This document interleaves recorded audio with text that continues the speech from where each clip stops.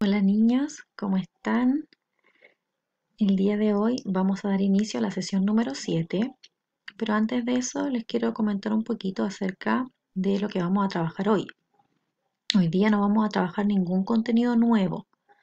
El día de hoy es solamente retroalimentar la guía de la semana pasada, la guía que ustedes fueron trabajando, ¿cierto? Que descargaron de la plataforma Syscall luego de ver el video ustedes, ¿cierto? Ya estaban listos para comenzar a trabajar en la guía número 6. Esa guía es la que vamos a revisar hoy.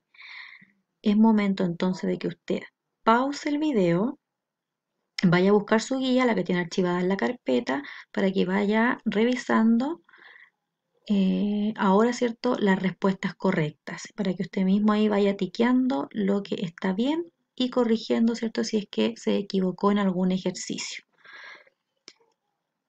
El objetivo de la clase anterior fue demostrar que comprenden la adición descomponiendo los números y aplicando algoritmos. Esto es solamente para, que, para repasar lo que trabajamos en la sesión anterior. Dice ahí algoritmo por descomposición aditiva, que significaba descomponer, ¿cierto? Descomponer, desarmar los sumandos, desarmar los números según su valor posicional y luego poder sumarlos, como el ejemplo que está a continuación. Yo acá tengo mi adición, tengo los sumandos, pero voy a realizar mi adición de esta manera, descomponiendo los números. Voy a descomponer el 1 de la unidad de mil, el 1 de la centena, el 5 de la decena, el 2 de la unidad. Ahí está descompuesto, ¿cierto? Está desarmado el número en 1000 más 100 más 50 más 2 y luego el otro sumando que lo desarmo, lo descompongo en 1000 más 500 más 30 más 8. ¿Se acuerdan que esto lo trabajamos la semana pasada? Luego que yo tengo lista, ¿cierto? La adición con los números descompuestos, voy a sumar hacia abajo. ¿Ya? Lo mismo que hacemos siempre. 2 más 8 Sabemos que me da 10, pero fíjese, ¿estará correcto que yo escriba el 10 acá abajo si sé que este lugar pertenece a las unidades? No, ¿cierto? Por lo tanto, yo dejo un 0 en la unidad y el 10 que me dio la suma de 2 más 8 lo coloco en las decenas. ¿Ya? ¿Por qué? Porque ese 10 imposible que vaya en las unidades. Recuerden que las unidades son números, dígitos, ¿cierto? Solitos, el 1, el 2, el 3, el 4. En cambio acá cuando ya tengo dos dígitos corresponde a las decenas. Este 10 lo escribo arriba como si fuera cierto una reserva y luego sumo para abajo. 10 más 50 más 30 que me da 90, 100 más 500 que me da 600 y 1000 más 1000 que me da 2000. Y luego puedo sumar todo esto hacia el lado, 2000 más 600 más 90 más 0 me da como resultado 2690, que es lo mismo que tengo en esta adición. ¿Ya? ¿Van recordando? Muy bien. Y el otro tipo de adición que vimos fue la adición por algoritmo abreviado, que es la que trabajamos normalmente, ¿cierto? En clases. Sumando hacia abajo, ¿cierto? Pero aquí es sin descomponer los números. Sumamos las unidades, las decenas, las centenas y la unidad de mil. Esto fue lo que trabajamos la semana pasada. Ahora vamos con la guía para que usted la pueda revisar. Me imagino que todos tienen la guía, ¿cierto? Ahí encima de su mesa para ir revisando. Primer ejercicio. Resuelve los siguientes problemas. Para ello completa la resolución y la respuesta según corresponda. Recuerden que mi respuesta debe ser respuesta completa. Una respuesta que responda a lo que se me está preguntando. Primer problema. Juan y su mamá fueron al teatro y compraron una entrada de adulto y una de niño. ¿Cuánto dinero pagaron en total? Si me está hablando de cuánto pagaron en total por las dos entradas, ¿qué operación tendré que realizar? Adición, muy bien. Acá en la pizarra, ¿cierto? En el dibujo está ahí el valor de las entradas de adulto, que equivale, ¿cierto? La de adulto a 5.870, eso tengo que pagar, y la de niños, 2.350. tengo listo, ¿cierto? Yo acá les dejé listo el recuadro para que usted solamente colocara los numeritos. Vamos colocando entonces. El valor de los adultos 5.870 y el valor de los niños 2.350. Ahora debemos sumar hacia abajo. Unidades me da 0, decenas, 7 más 5 me da 12, por lo tanto tengo una reserva, por eso se las coloqué con color, porque muchas veces ustedes se confunden cuando escriben todo con lápiz grafito y ni siquiera encierran el número. Después se les olvida sumar para abajo, así que es súper importante que lo destaquen, ojalá con otro color. 7 más 5 entonces me daba 12, ese 1 lo coloco arriba y sumo 1 más 8 más 3, me vuelve a dar 12, coloco nuevamente mi reserva y sumo las unidades de 1000. 1 más 5 más 2 me da 8 y mi total fue 8220. ¿Está igual su ejercicio al mío? Súper bien. Y vamos con la respuesta. Si mi pregunta decía, ¿cuánto dinero pagaron en total? Mi respuesta podría ser, en total pagaron 8.220 por las entradas de adulto y niño.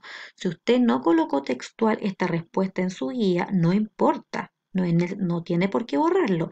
Lo importante es que usted haya colocado algo parecido a lo que yo acabo de leer. Si usted colocó algo completamente distinto, ahí va a tener que borrar, ¿cierto? Y escribir nuevamente la respuesta.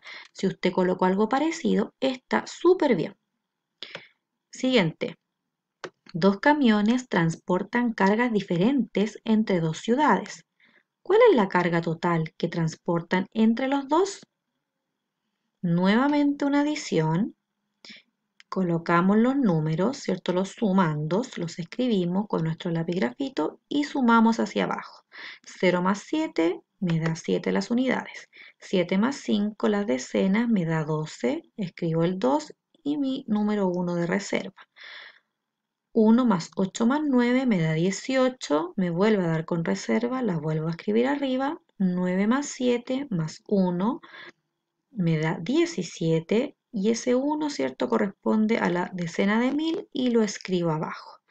Y mi resultado es 17.827. Voy a leer nuevamente la pregunta para saber cómo va a ser mi respuesta. ¿Cuál es la carga total que transportan entre los dos?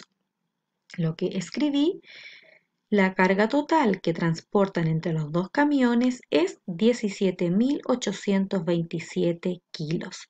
Si usted colocó algo parecido, recuerde que está correcto. Y nos queda lo último. Resuelve las adiciones usando la descomposición aditiva de los sumandos. Ahora debía desarmar los números.